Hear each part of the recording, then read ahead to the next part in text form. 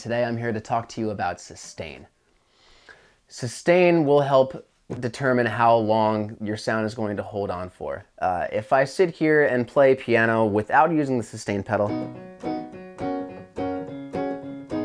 the sound doesn't really sustain at all. Unless I hold the pitch out myself, it will sustain in that case. But just by sitting here and plunking away at keys, the sound isn't going to sustain at all. However, with a sustain pedal, if I hold my foot down on the sustain pedal and play the same thing I did before,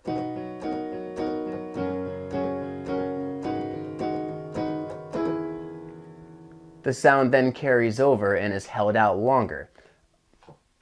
Uh, another time you might want to decide to use sustain is in a live performance setting uh, determined by what style of music you're playing.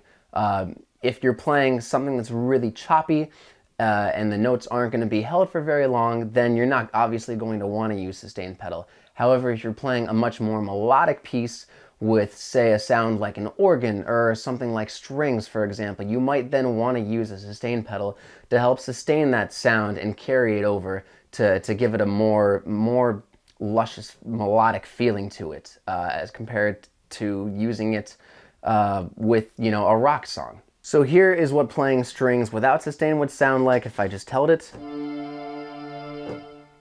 The sound stays and sustains for a little bit. Now if I hold down the sustain pedal and I play it, the sound will stay for as long as I want it to by holding my foot down on the sustain pedal.